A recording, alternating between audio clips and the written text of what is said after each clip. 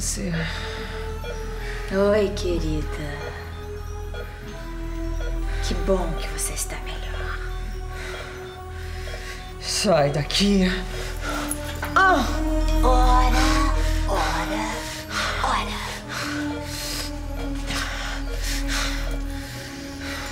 Quer dizer que você se lembra quem eu sou, não é, Fernanda? Mesmo depois de passar tantos anos enfiada na cadeia.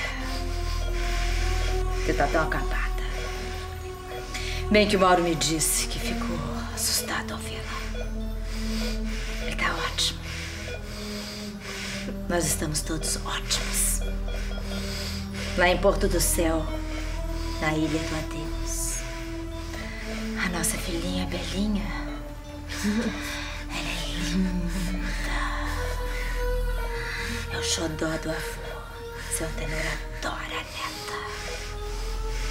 Ele me adora também. Mas você sabe por que, que eu tô aqui? Sabe por quê, meu bem?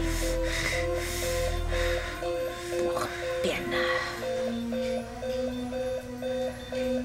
O Mauro teve tanta pena que ele pediu pra eu vir aqui cuidar de você. Ninguém liga pra você. Ninguém.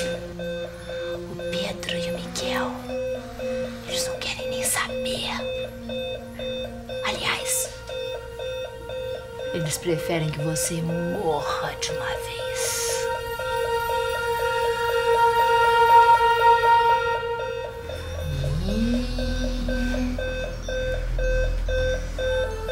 Eu acho que você não tá bem. Eu acho melhor chamar um médico. Se bem que eu prefiro você assim, semi-morta.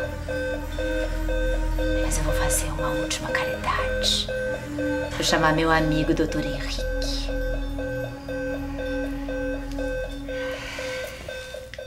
Socorro!